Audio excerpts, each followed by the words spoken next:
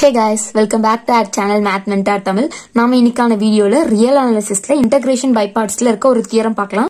தியரம்குள்ள போறதுக்கு முன்னாடி உங்ககிட்ட ஒரு இஷ்யூ சொல்லணும்னு நினைக்கிறேன். இன்னமும் நம்ம சேனல் நிறைய பேர் சப்ஸ்கிரைப் பண்ணாம பார்க்குறீங்க அதுவும் seventy one point two percentage members subscribe பண்ணாம தான் பாக்குறீங்க. ஸோ ப்ளீஸ் சப்ஸ்கிரைப் பண்ணிட்டு வந்துருங்க. பக்கத்தில் ஒரு பெல் ஐக்கான் இருக்கு அதை கிளிக் பண்ணுங்க. அப்பதான் நான் போடுற வீடியோஸ் ஆன நோட்டிபிகேஷன்ஸ் உங்களுக்கு வரும். அண்ட் தென் உங்க ஃப்ரெண்ட்ஸ்க்கும் ஷேர் பண்ணுங்க. நம்ம இப்ப தியரம்குள்ளே போலாம். தியரம் செவன் பாயிண்ட் சிக்ஸ் தான் பார்க்க போறோம் இப்போ. If f belongs to r of alpha. R of alphaன்றது ரீமன் ஸ்டீல்ஜஸ் இன்டெக்ரல் எஃப்ன்றது ரீமன் ஸ்டீல்ஜஸ் இன்டெக்ரல்னு சொல்லிட்டு இங்கே சொல்லியிருக்காங்க. ஃபர்ஸ்ட் உங்களுக்கு யாருக்காச்சும் ரீமன் ஸ்டீல்ஜஸ் இன்டெக்ரல் பற்றி தெரியலனா அதோட லிங்க் நான் டிஸ்கிரிப்ஷன்ல கொடுக்குறேன். நீங்கள் போய் செக் பண்ணி பாருங்க. ரீமன் ஸ்டீல்ஜஸ் இன்டெக்ரல்னா இந்த கண்டிஷன்லாம் சாட்டிஸ்ஃபை ஆகணும். அதை தான் நம்ம ரீமன் ஸ்டீல்ஜஸ் இன்டெக்ரல்னு சொல்லுவோம். அதுக்கு ஒரு பார்ட்டிஷன் எக்ஸிஸ்ட் ஆகணும். அதுக்காக இது எஸ்ன்றது சம்மோட value s of p, f, alpha minus integral a to b f d alpha less than epsilon இந்த கண்டிஷன்லாம் சாட்டிஸ்ஃபை ஆனாதான் அது f belongs to r of alpha ஆகும் இங்க அதுதான் கொடுத்திருக்காங்க if f belongs to r of alpha on closed interval a, b then alpha belongs to r of f on closed interval a, b இந்த கண்டிஷனை தான் நம்ம proof பண்ண முடியும் இங்க வந்து பாத்தீங்கன்னா f belongs to r of alpha கொடுத்துருக்காங்க கொடுத்திருக்காங்க. பட் நம்ம ப்ரூஃப் பண்ண போறது alpha belongs to R of f on closed interval interval a, இந்த கண்டிஷன் நம்ம ப்ரூஃப் பண்ண போறோம். அதுக்கப்புறம் இந்த கண்டிஷன்ஸையும் ப்ரூஃப் பண்ண சொல்லி சொல்லியிருக்காங்க. இப்போ நம்ம ப்ரூஃப் கூட போலாம். Given f belongs to r of alpha. நமக்கு கிவன்ல வந்து f belongs to r of ஆல்ஃபான்னு சொல்லிட்டு கொடுத்துருக்காங்க டு ப்ரூவ் தான் alpha belongs to r of f நான் ஆல்ரெடி சொல்லியிருந்தேன் f belongs to r of ஆல்ஃபானா இந்த கண்டிஷன்லாம் சாட்டிஸ்ஃபை ஆகணும்னு சொல்லிட்டு ஸோ இங்க பாத்தீங்கன்னா epsilon greater than zero the exist a partition p epsilon on close interval a comma b அதான் இங்க எழுதியிருக்காங்க epsilon greater than zero the exist partition p epsilon on close interval a comma b that is p dash contain p epsilon அப்போ நமக்கு என்ன கிடைக்கணும் நம்ம B dash தான் இதுக்கு பார்ட்டிஷனா எடுத்திருக்கோம் s of p dash comma f comma alpha. Fன்ற ஃபங்க்ஷனுக்கு நம்ம பி dash தான் பார்ட்டிஷனாக எடுத்திருக்கோம். Minus interval a to b f d alpha less than epsilon. இங்க வந்து கிவன்ல கொடுத்ததுனால இந்த கண்டிஷனை நம்ம டைரக்டா எழுதிக்கலாம். இங்க வந்து பாத்தீங்கன்னா f belongs to r of ஆல்ஃபாக்கு நம்ம பார்ட்டிஷன் பி டேஷ் எடுத்திருக்கோம். நம்ம ப்ரூவ் பண்ண சொன்ன கண்டிஷன் வந்து alpha belongs to r of f இதனோட பார்ட்டிஷனை நம்ம பின்னு எடுத்துக்கிறோம். F belongs to r of alpha ஓட partition p dash alpha belongs to r of f ஓட partition p consider an arbitrary Riemann Stieltjes sum for the integral integral a to b alpha df இது ஏன் எழுதியிருக்காங்கன்னா நமக்கு இங்க பாத்தீங்கன்னா f belongs to r of alpha alphaன்ற போது நமக்கு s of p, f, alpha minus integral a to b f d alpha less than epsilon சொல்லிட்டு ஒரு condition எடுத்திருக்கோம் இப்போ நம்ம proof பண்ண போருது alpha belongs to r of f அப்ப என்ன வரும்? S of p comma alpha comma f minus minus a to b alpha d f less than epsilon இதை தான் நம்ம ப்ரூஃப் பண்ண போறோம். நீங்க கேட்கலாம் நீங்க ஏன் இன்டெகிரல் ஏ டு பின்னு எடுத்திருக்கீங்கன்னு சொல்லிட்டு. இங்க ஆல்ரெடி பாத்தீங்கன்னா கொஸ்டின்லேயே கொடுத்துட்டாங்க. Alpha belongs to r of f on close interval a comma pin so அதனால தான் நம்ம இன்டெகிரல் வேல்யூல ஏ டு பின்னு எடுத்திருக்கோம். So, அதனால தான் இங்க consider an arbitrary Riemann Stieltjes sum for the integral integral a to b alpha df. இங்க alpha belongs to r of f க்கு நம்ம integral a to b alpha df னு எடுத்துக்கிறோம் so அதனால தான் இங்க எழுதியிருக்காங்க next s of p, alpha, f இதனோட வேல்யூ இங்க எடுத்திருக்காங்க நமக்கு ஆல்ரெடி ரீமன் கண்டிஷன்ல s of p, f, alpha equal to summation k equal to 1 to n f of tk del alpha k னு எடுத்திருக்கோம் இங்க வந்து என்ன சொல்லியிருக்காங்க s of p, alpha comma எஃப்க்கு தான் நம்ம கண்டுபிடிக்க போறோம். ஸோ அதனால இங்க பாத்தீங்கன்னா summation k equal to one to n இங்க எஃப்க்கு பதில் ஆல்பா இருக்கிறதுனால நம்ம இங்க எஃப் இருக்கு. ஸோ அதனால இங்க ஆல்பா டி கே டெல் இங்க பாத்தீங்கன்னா ஆல்பா பிளேஸ்ல எஃப் இருக்கு. ஸோ அதனால இங்க டெல் எஃப் கேன்னு சொல்லிட்டு எடுத்திருக்காங்க. நமக்கு டெல் எஃப்கேயோட ஃபார்முலா தெரியும். Del f k equal to f of x k minus f of x k minus ஒன்னு இங்க இருக்கிற டெல் எஃப்கேவை நம்ம டெல் எஃப்கே ஆஃப் எக்ஸ்னு எழுதலாம். இங்க எக்ஸ்ன்றது ஒரு வேரியபிள் நீங்க அங்க மென்ஷன் பண்ணாலும் பண்ணல பண்ணலனாலும் பரவாயில்ல. சோ அதனோட ஃபார்முலாவை இங்க எடுத்து சப்ஸ்டிட் பண்ணிருக்காங்க நெக்ஸ்ட் வந்து இதை உள்ள மல்டிபிள் பண்ணிருக்காங்க summation k equal to one to n alpha d k f of x k minus அதே போல இதையும் மல்டிபிள் பண்ணி எழுதியிருக்காங்க. அண்டர்ஸ்டாண்ட் ஆகும் நினைக்கிறேன். இதுக்கு ஈக்குவேஷன் நம்பர் டூன்னு எடுத்திருக்காங்க. நம்மள ப்ரூஃப் பண்ண சொல்ல கண்டிஷன் வந்து இதுவும் தான் இதுல ரைட் ஹேண்ட் சைட்ல இருக்கிறதுக்கு நம்ம ஏன்னு சொல்லிட்டு நேம் கொடுத்துருக்காங்க. லெட்டுன்னு சொல்லிட்டு எடுத்திருக்காங்க. லெட்டுனா நாமளா அசியூம் பண்ணி எடுத்திருக்கிறது தான் ஸோ அதனால இதுக்கு அப்படி எடுத்திருக்காங்க.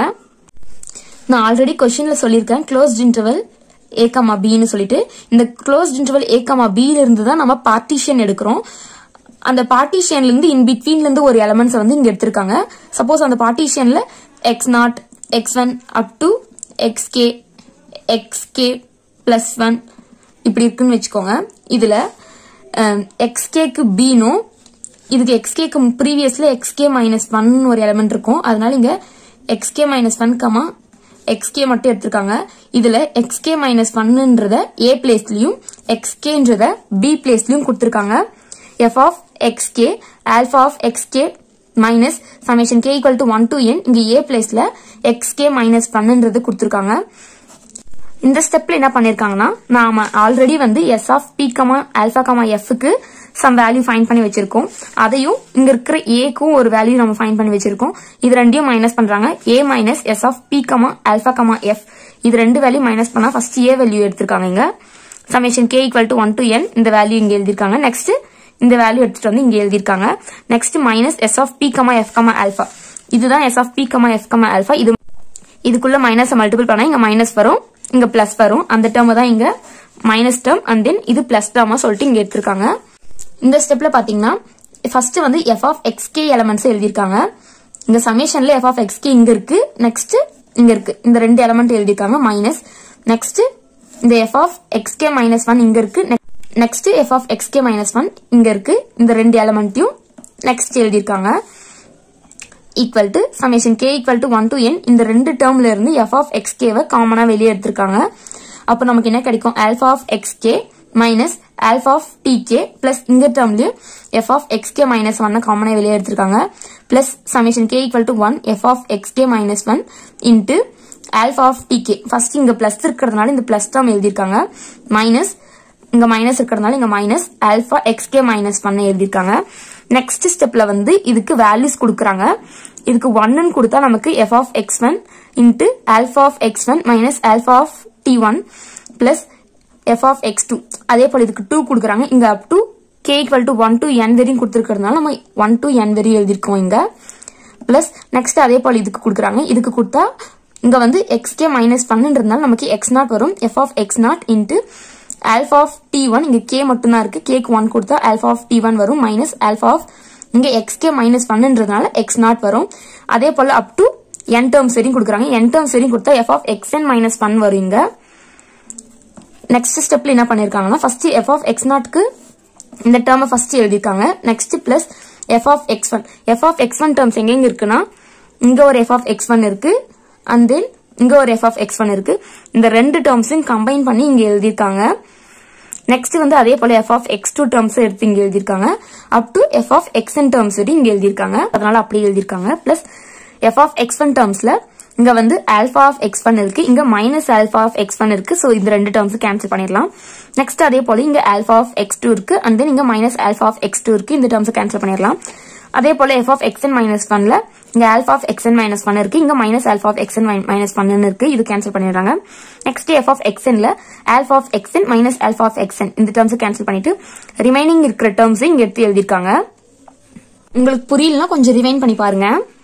Put x naught equal to d naught இந்த அர்பிட்டரி கான்ஸ்டன்ட் ஒன்லி நம்ம இந்த ஸ்டெப்ல அர்பிட்டரி கான்ஸ்டன்ட்ன்றது ஆல்பா இங்க எஃப்ன்றது ஃபங்க்ஷன் ஆல்பான்றது ஒரு கான்ஸ்டன்ட் அர்பிட்டரி கான்ஸ்டன்ட் நம்ம இங்க ஆல்ஃபான்னு கொடுத்துருக்க பிளேஸ்ல மட்டும் நம்ம alpha of d one minus இங்க ஆல்ஃபா ஆஃப் எக்ஸ் நாட் இருக்கிறதுனால இங்க alpha of d naught alpha கொடுத்துருக்க பிளேஸ்ல மட்டும் எக்ஸ் எக்ஸ் டேர்ம்ஸ் இருந்துச்சுன்னா நாங்க அங்க டி டீயை பேஸ் பண்ணி நெக்ஸ்ட் ஸ்டெப்ல எழுதிருக்காங்க இங்க ஸோ இங்க பாத்தீங்கன்னா தெரியும் f of x naught into alpha of d one minus alpha of இங்க எக்ஸ் நாட்ன்றதுனால எக்ஸ் நாட்னு எங்கே இருக்கோ ஆல்ஃபாக்கு அங்கே நம்ம டி நாட்னு கொடுக்குறோம்.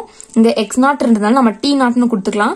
Next f of x one into alpha of d two minus alpha of d one up to அப்படியே n term வரையும் எழுதிருக்காங்க இங்கே பார்த்தீங்கன்னா இந்த வேல்யூஸ் எப்படி இருக்குன்னா f of x k minus one into alpha of d k minus alpha of d k minus ஒன்னு இருக்கு. இங்க நீங்க கேக்கு ஒன்னு கொடுத்து பாருங்க. F of x one minus பண்ணுன்றதுனால x naught ஆயிடும். அந்த எக்ஸ் நாட் இங்க இருக்கா? Into alpha of d one minus alpha of ஒன்னு கொடுத்தா நமக்கு ஒன் மைனஸ் ஒன் ஜீரோ ஆயிடும். ஸோ ஆல்ஃபா ஆஃப் டி நாட்னு இருக்கு. நெக்ஸ்ட் கேக்கு டூன்னு கொடுத்து பார்த்தா எஃப் ஆஃப் எக்ஸ் இங்க டூ மைனஸ் ஒன்னுன்றது ஒன் ஆயிடும். So f of x one into alpha of two minus alpha of two minus one வந்து ஒன் ஆயிடும். So minus alpha of d one இங்க வந்து அப் டு என் டேர்ம்ஸ் வரையும் இருக்கிறதுனால நம்ம summation k equal to one to என்னன்னு சொல்லிட்டு இந்த வேல்யூஸ் எடுத்து எழுதியிருக்காங்க இங்க. இங்க பாத்தீங்கன்னா நான் ஆல்ரெடி சொல்லியிருந்தேன் x naught equal to d naught இந்த அர்பிட்டரி கான்ஸ்டன்ட்க்கு மட்டும் நம்ம கொடுக்கலாம்னு சொல்லிட்டு. ஸோ இப்போ அதே போல அர்பிட்டரி கான்ஸ்டன்ட்க்கு மட்டும் டி கே டி இருக்கிற வேல்யூக்கு நம்ம எக்ஸ் கொடுக்குறோம். அப்படின்னா வரும்? Alpha of x k minus இங்க டி கே மைனஸ் ஒன்னு இருக்கிறதுனால நம்ம இங்க எக்ஸ் கே மைனஸ் ஒன்னு கொடுத்துக்கலாம். இது பாத்தீங்கன்னா எப்படி இருக்குன்னா டெல் ஆல்ஃபா கேன்னு நான் ஆல்ரெடி சொல்லியிருந்தேன். Del f cake f of x k minus f of x k minus ஒன்னு இங்க எஃப்க்கு பதில் ஆல்ஃபா இருக்கிறதுனால நம்ம டெல் ஆல்ஃபா கேன்னு கொடுத்துக்கலாம். இந்த வேல்யூஸ் பாத்தீங்கன்னா எப்படி இருக்குன்னா S of P dash comma F comma alpha ஏன் அப்படி சொல்றாங்கன்னா நமக்கு ரீமன் ஸ்டீல்ஜஸ் இன்டெகிரல்ல பாத்தீங்கன்னா தெரியும். S of P comma F comma ஆல்ஃபாக்கு summation K equal to one to N F of X K del alpha கேன்னு எடுத்திருப்போம். இங்க நான் ஆல்ரெடி சொல்லியிருந்தேன். இங்க பாத்தீங்கன்னா தெரியும். இங்க f belongs to r of ஆல்ஃபான்ற போது நம்ம பார்ட்டிஷன் பி டேஷா ஸ்டார்டிங்ல எடுத்திருப்போம். சோ அதனால இங்க பி டேஷ் கொடுத்திருக்காங்க.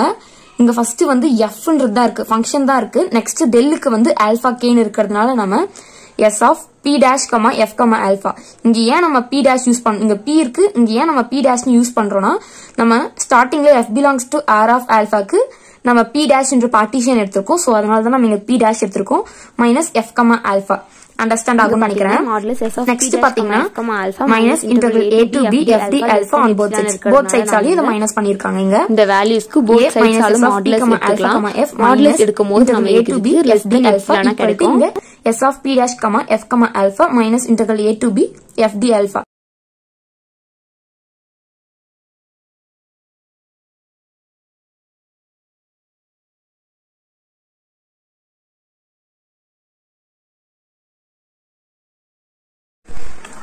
இங்க பாத்தீங்கன்னா மாடுலஸ்ல s of p comma alpha comma எஃப்னு இருக்கு. நான் ஆல்ரெடி சொல்லியிருந்தேன் alpha belongs to r of f இந்த கண்டிஷனை தான் நம்ம இப்போ ப்ரூவ் பண்ண போறோம்னு சொல்லிட்டு. ஸோ அதே போல இங்க S of P comma alpha comma எஃப்னு இருக்கு. அது லெஸ் தென் எப்சிலானாவும் இருக்கு. ஸோ அதனால இங்க alpha belongs to R of F enclose interval A comma பின்னு எடுத்திருக்காங்க. நெக்ஸ்ட் வந்து இங்க இருக்கிற எப்சிலான் வந்து ஈக்குவல் டு ஜீரோன்னு எடுத்திருக்காங்க. Equal to ஜீரோனா A minus S of P comma alpha comma F minus interval A to B F D alpha equal to ஜீரோன்னு சொல்லிட்டு எடுத்துக்கலாம். நெக்ஸ்ட் ஏ மைனஸ் இந்த வேல்யூ எழுதிட்டு ஈக்குவல் டு இங்க இருக்கிற மைனஸ் வந்து இந்த சைட் போயிடுச்சுன்னா பிளஸ் ஆயிடும். S of P comma alpha comma எஃப்னு இங்க S of P comma alpha comma F ஓட இன்டெகிரல் வந்து integral A to B alpha D F இது நம்ம ஆல்ரெடி பார்த்துருப்போம். ஸோ அது இங்க கொடுத்துருக்காங்க.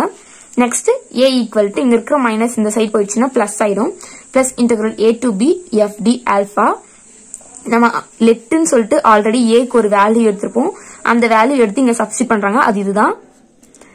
Equal to integral A to B alpha D F plus integral A to B F D alpha next ஸ்டெப்ல பாத்தீங்கன்னா இங்க இருக்கிற integral A to B F D alpha எடுத்து எழுதிருக்காங்க நான் ஆல்ரெடி சொல்லியிருந்தேன்.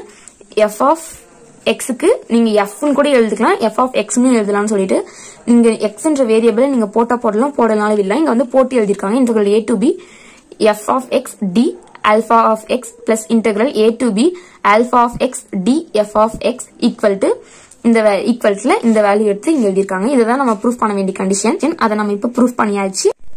And then alpha belongs to R of F enclose interval A comma பீனும் இந்த ரெண்டு கண்டிஷனும் நம்ம ப்ரூவ் பண்ணிட்டோம். ஐ ஹோப் உங்களுக்கு இந்த தியரம் ஈஸியா அண்டர்ஸ்டாண்ட் ஆயிருக்கும்னு நினைக்கிறேன். தேங்க்ஸ் ஃபார் வாட்சிங் keep supporting our channel math mentor Tamil if you are not subscribe please do subscribe our channel